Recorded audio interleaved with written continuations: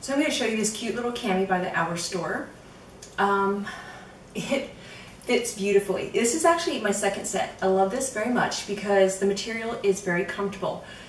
Very comfortable. The straps are a little bit stretchy. They do have the adjustable clasp in the back, but on top of that they're stretchy. So say while you're sleeping and you're pulling around, it's moving with you beautifully. So I love it. It's got this beautiful little bling right here as well.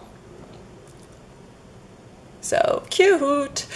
Um, of course you see that it's got lace. You've seen that from the product page. The shorts, the way they fit, that if you, I mean, if they're, they're a little bit wide in the base. So when you stand just so, it's almost like a little skirt, you know, because they come from end to end. I don't know if it's quite capturing that on the camera, but it's cute. I like that, that they kind of fit like that.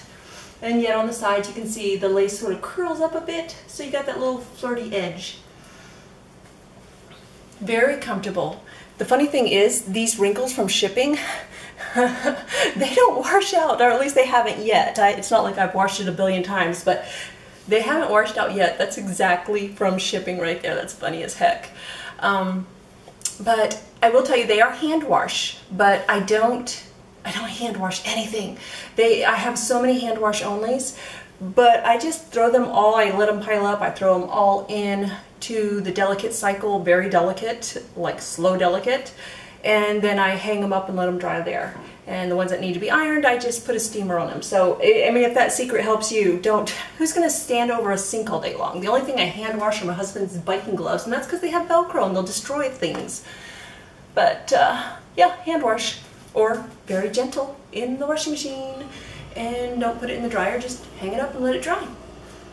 So I hope that really gives you a good view. I think I've been talking your ear off, but it's just to keep you being able to see all the angles of this.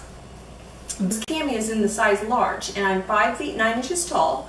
I am 39, 33, and 40. Large fits beautiful, so comfortable. Wears well. I, I really, I love it. I love it. I think you will too.